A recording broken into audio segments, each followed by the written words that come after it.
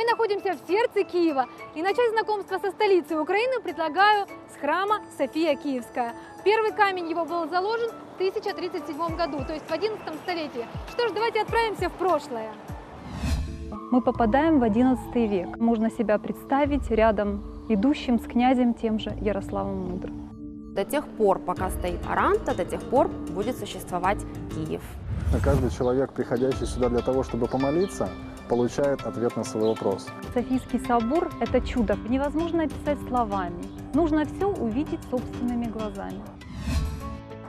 Мы приехали сюда рано утром для того, чтобы оглядеть всю Софию, потому что территория заповедника насчитывает более 5 гектаров. И были удивлены, увидев такое большое количество туристов. Сегодня национальный заповедник София Киевская – это музейный комплекс, объединяющий 77 памятников архитектуры. Они находятся не только в Киеве, но и в автономной республике Крым. В частности, в состав заповедника София Киевская входят с 1958 года Судакская крепость в Крыму, с 1958 года Андреевская церковь в Киеве, с 1965 года Кирилловская церковь в Киеве, с 1983 года Золотые ворота в Киеве. София в переводе с греческого означает «премудрость Божья». София Киевская построена по прообразу Софии Константинопольской. Но больше нам об ее истории расскажет человек, который изучал ее тайны много лет. Наталья Титочка – ведущая экскурсовод заповедника. Изучает историю Софии более 10 лет. Знает множество легенд, связанных с одной из главных украинских святынь – Софийским собором.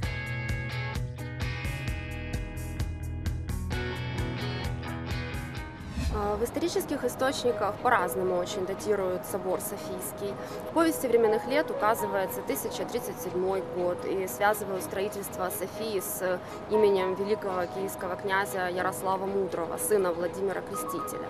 В новгородской летописи указывается 1018 год.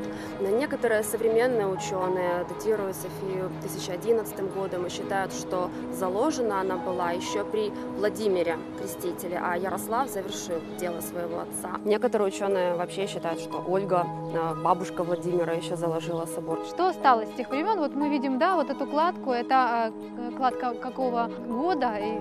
Да, перед нами э, разные эпохи собора Софийского. Открыта кладка XI века. Собор был построен так называемой смешанной кладкой, э, когда чередовались ряды камня, гранита и кварцита с э, кирпичом линфой. Кладку эту заимствовали у византийских мастеров. На рубеже 17-18 столетий, в эпоху барокко в Украине, собор изменился внешне до неузнаваемости, но внутри собор почти что неизменным остался с древних времен. На сегодняшний день в Софии Киевской самый большой ансамбль монументальной живописи XI века на территории всей Восточной Европы. За свою почти тысячелетнюю историю София пережила немало нашествий, грабежей и пожаров.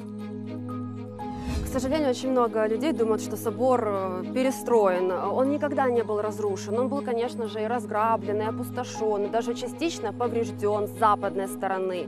Перед нами восточный фасад э, собора Софийского. Э, и собор, на удивление, пережил все войны, ремонты, и он почти полностью сохранился до нашего времени.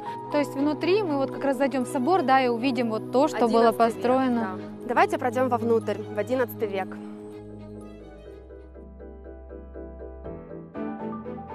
Конечно, за прошедшую тысячу лет здание менялось за счет пристроек и перестроек, но уникальность Софии именно в том, что до наших дней здесь сохранились артефакты, созданные еще в XI веке. Сегодня в Софийском соборе можно увидеть около 260 квадратных метров мозаик и 3000 квадратных метров фресок того времени. Палитра мозаик состоит из более 170 оттенков. Кстати, фотографировать и проводить видеосъемку в соборе запрещено, так как вспышка пагубно влияет на цвет фресок. Поэтому то, что мы сейчас видим, видим в своем роде уникальное видео.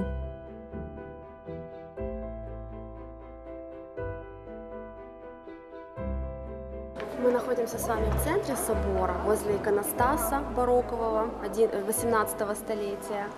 А, иконостас э, был э, создан при митрополите Рафаиле Заборовском киевскими мастерами. Это позолоченная липа, липа – мягкое дерево, которое хорошо поддается обработке. В центре иконостаса царские врата. Их вес составляет 140 килограммов, 85 из которых чистое серебро. Главная достопримечательность Софии – мозаика Божией Матери Аранта. Она находится прямо над царскими вратами. Ее высота – 5,5 метров. Это самая большая мозаика в соборе.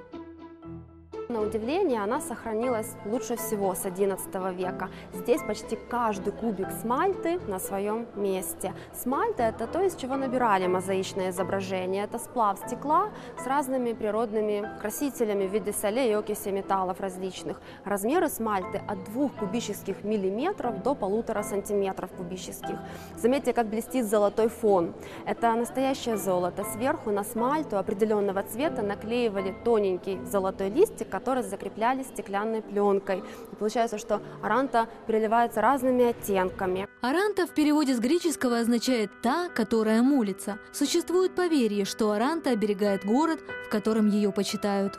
Аранту называли э, берегиней Киева, нерушимой стеной премудрости Божьей и верили, что до тех пор, пока стоит Аранта, до тех пор будет существовать Киев. В общем, на стенах Софии сегодня можно увидеть более 500 изображений тысячелетней давности. Часто ученым сложно атрибутировать изображения, потому что вертикальные подписи на греческом языке во многих случаях не сохранились. А в XIX веке для благолепия, так сказать, подписывали неизвестные композиции э, любыми приличными именами. Э, поэтому это очень усложняет работу ученых. Помогают в этом многочисленные настенные надписи, так называемые граффити. Переводе с итальянского граффити означает «выцарапывать». Люди всегда придавали слову особое сакральное значение. Поэтому, несмотря на то, что церковный устав запрещал портить стены, прихожане довольно часто выцарапывали на них обращение к святым. На стенах Софийского собора насчитывается более 7 тысяч граффити разных веков. Их до сих пор исследуют ученые.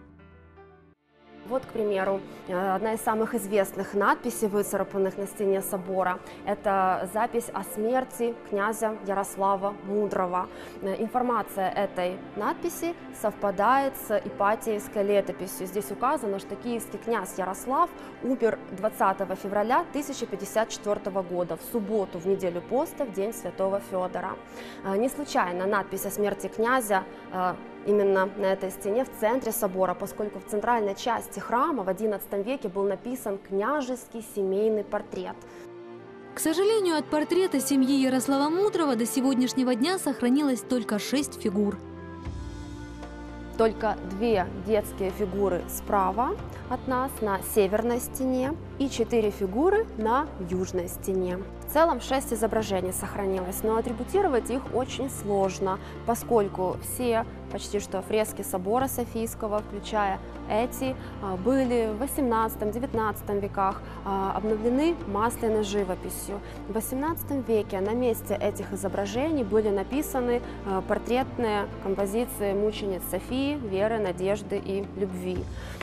Очень часто ученые утверждают, что на этой стене изображены дочери Ярослава Мудрого, так как они были очень известными в Европе. К примеру, Анна Ярославна была королевой Франции и правила даже после смерти своего супруга Генриха I. Елизавета была королевой Норвегии, Анастасия – Венгрии, по традиции у киевских князей было два имени – светское и церковное. Ярослав при крещении получил имя Георгий. В Георгиевском пределе Софийского собора среди настенных композиций есть одна, по мнению ученых, очень интересная. Это изображение мужчины в княжеском одеянии с бородой и без нимба над головой.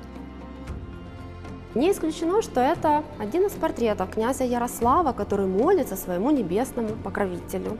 Тем более, что в соседнем помещении была организована великокняжеская усыпальница, где до сих пор находится мраморный саркофаг князя Ярослава.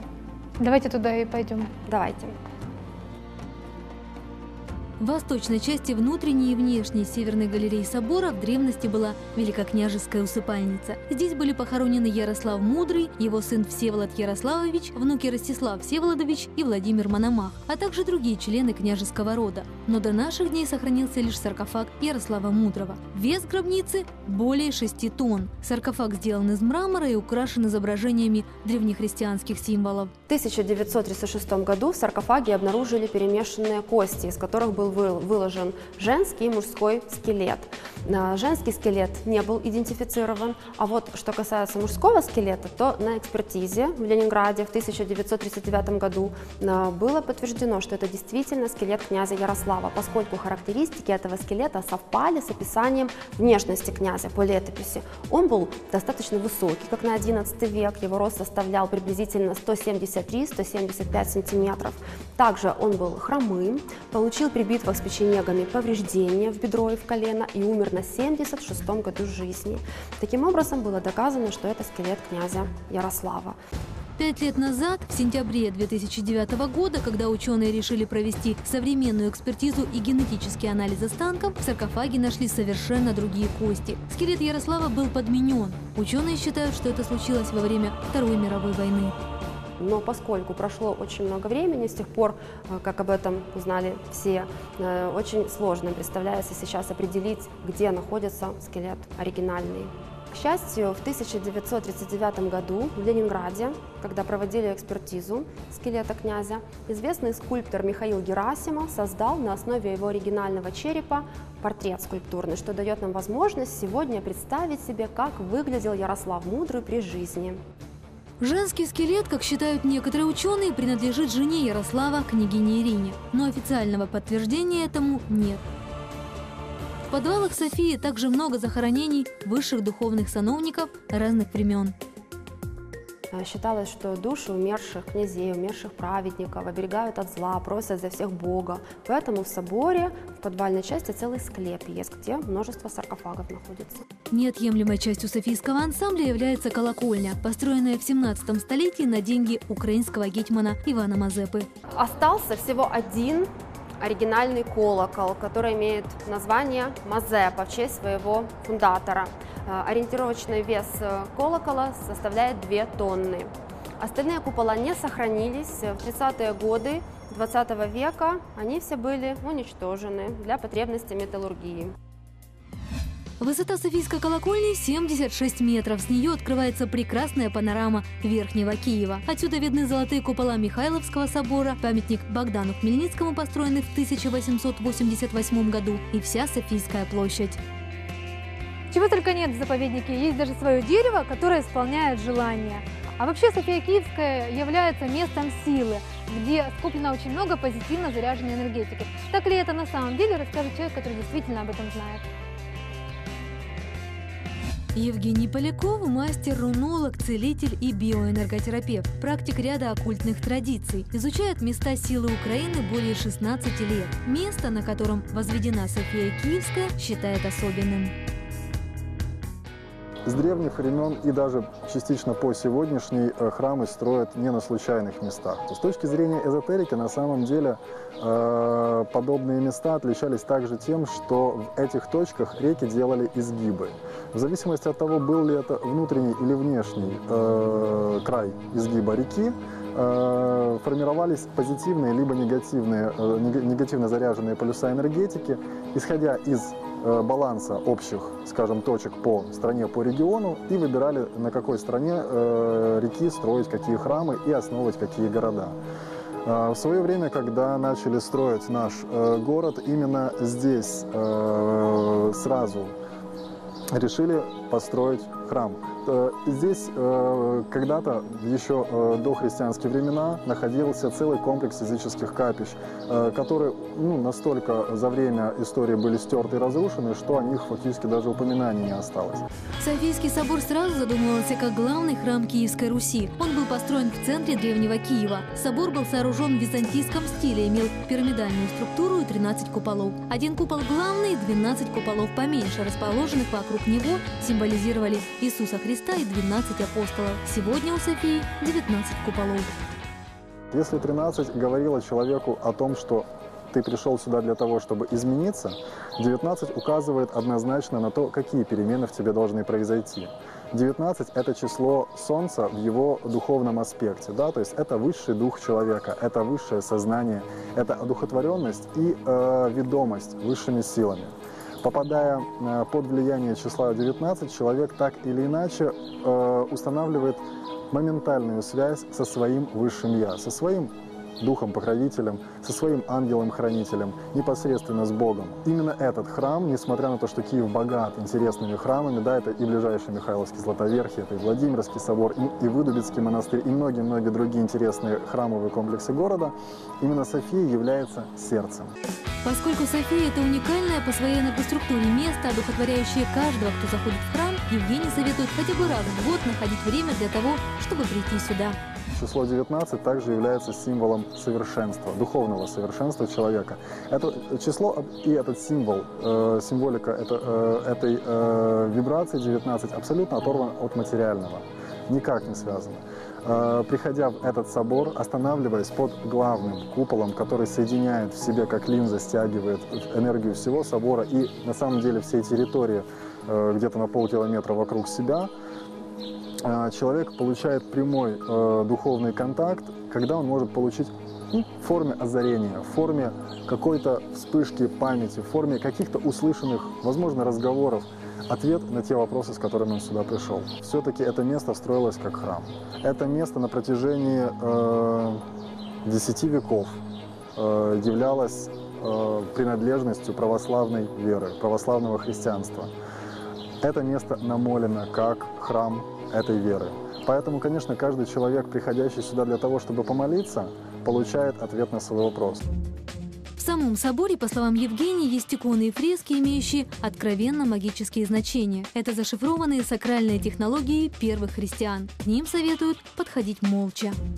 И в оформлении орнаментами использовался принцип сакрального программирования. Человек, созерцая эти образы, в э, состоянии остановленного диалога должен был получить умиротворение и э, контакт с высшими силами, контакт с Богом и контакт со своим высшим я. Потому что именно э, раскрытие человеческой души было основой э, того, зачем приходили в любые храмы, на любые подобные места э, во все времена люди.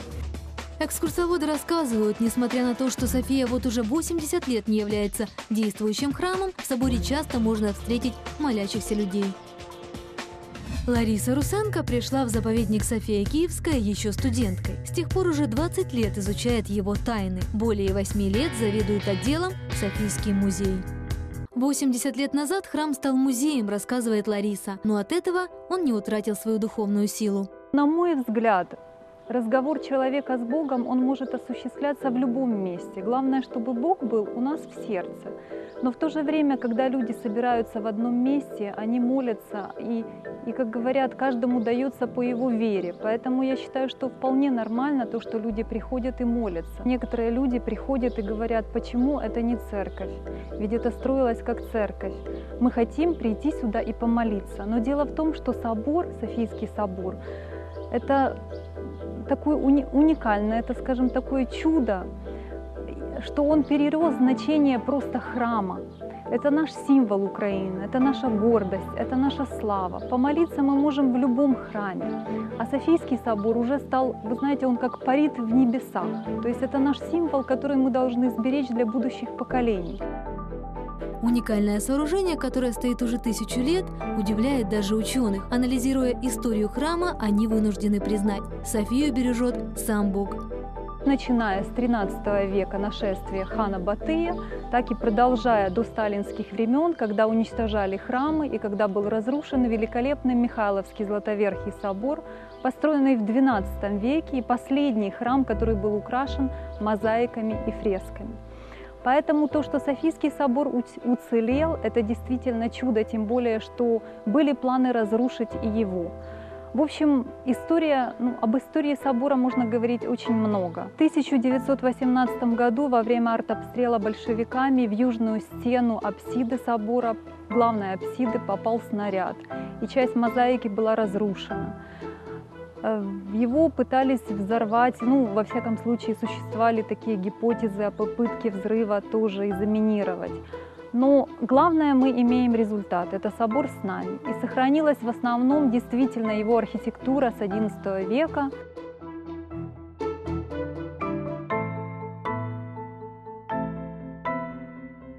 Существует поверье, если загадать желание и обойти Софию три раза вокруг по часовой стрелке, то оно обязательно сбудется. Не знаю, насколько это правда, но проверить стоит.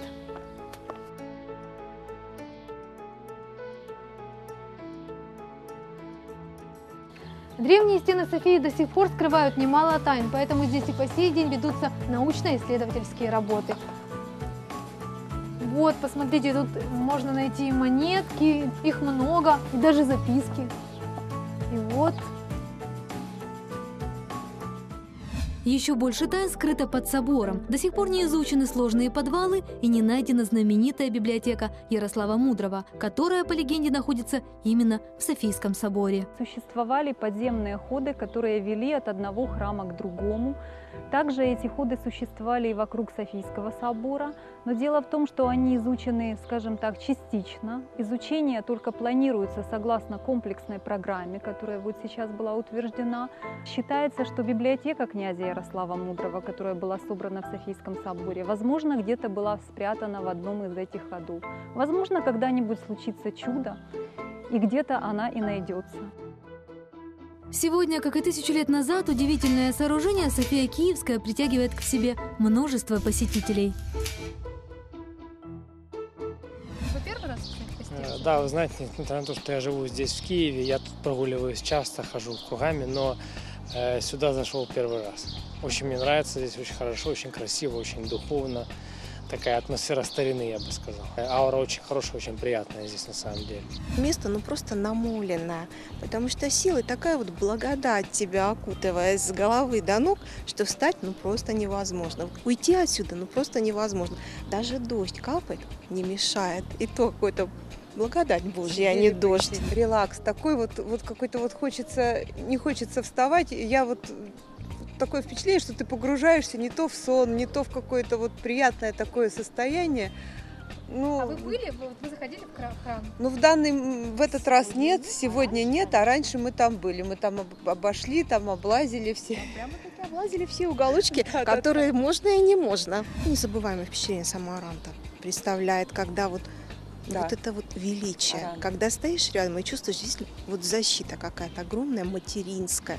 Я здесь был месяц назад, случайно прогуливали, ну, то есть была экскурсия, ну, здесь почувствовал определенные изменения состояния.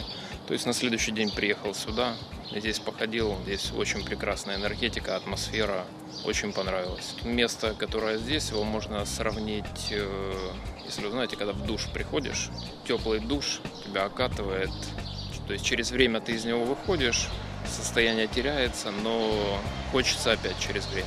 Я сюда пришел, потому что тут э, чувствуется хорошая аура и э, нашему поколению, моему поколению и нашей стране все-таки нужно определять внимание на духовность, и, э, на храм души, Софийский собор – это чудо, которое мы имеем, и он уникален по своей сущности, значимости, по всему. И действительно хочется поделиться этим со всеми. И я хочу сказать, что несмотря на все богатство русского языка или других языков, невозможно описать словами. Просто его невозможно описать словами. Нужно все увидеть собственными глазами. Нужно прийти и увидеть эти, эти великолепные мозаики.